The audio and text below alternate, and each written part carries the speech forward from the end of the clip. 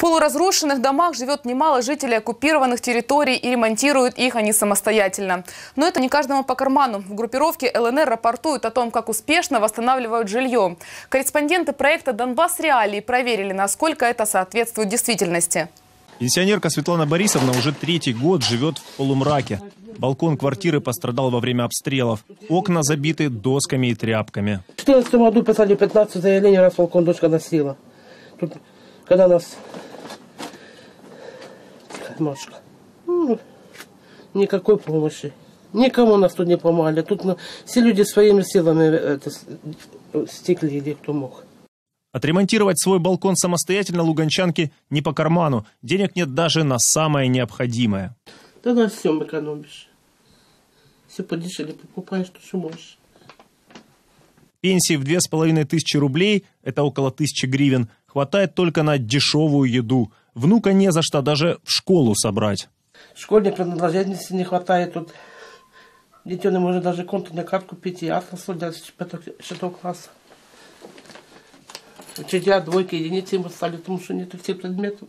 Группировка ЛНР еще в конце прошлого года обещала восстановить тысячи домов. Деньги на это якобы выделила Россия, но потом они куда-то испарились.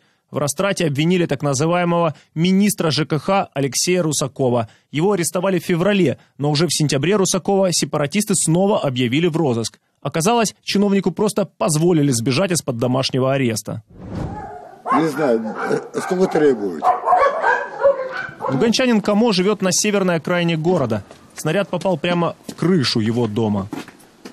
Вот, снаряд попал, все разрушил и попал э, до соседа. Камо не стал бегать по инстанциям группировки ЛНР. Решил, во время войны каждый сам за себя. Нужно было, ну, я не надеялся, э, какую-то помощь, потому что тогда было такое времена, лучше свои головы берегите. Местное ноу-хау. Луганчанин латает крышу старыми деревянными поддонами. Ими он обшивает чердак. Это подон мне лучше друг отдал. Мне друг отдал, э, что э, э, помог, короче. Ну, буду стараться обшивать, если получится.